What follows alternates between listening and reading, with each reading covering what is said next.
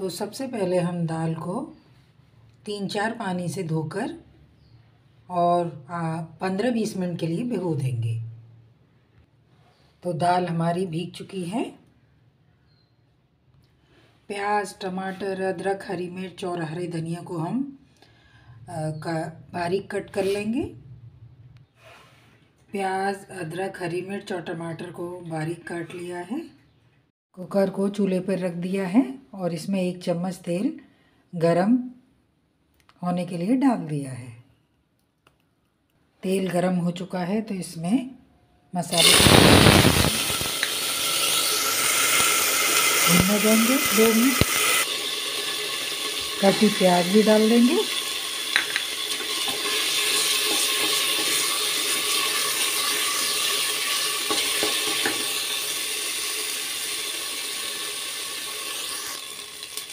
कटा अदरक और हरी मिर्च भी डाल देंगे।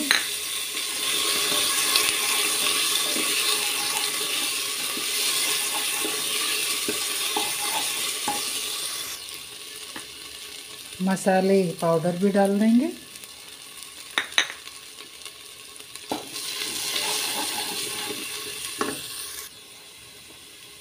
थोड़ा पानी डालकर भूनेंगे।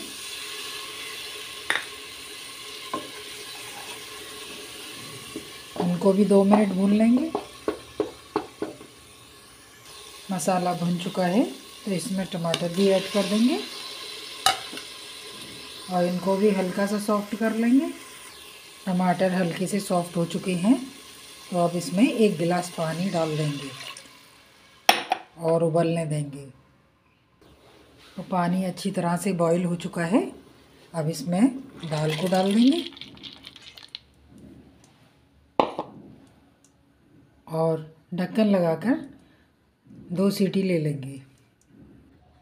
तो दाल हमारी हो चुकी है। अब इसमें तड़का लगाने की तैयारी करते हैं।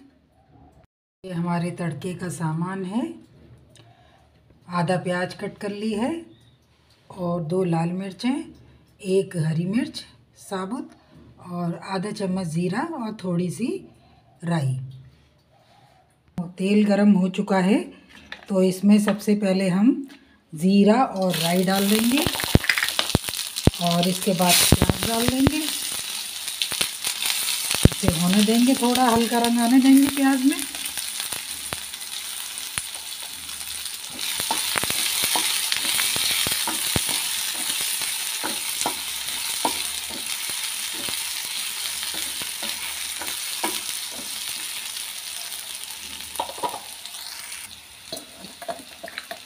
अब इसमें लाल मिर्च और हरी मिर्च भी डाल देंगे।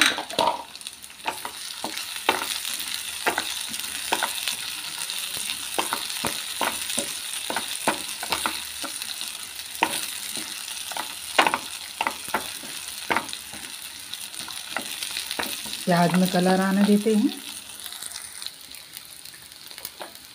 अब दाल में हरा धनिया डाल देंगे। और इसको मिक्स कर लेंगे।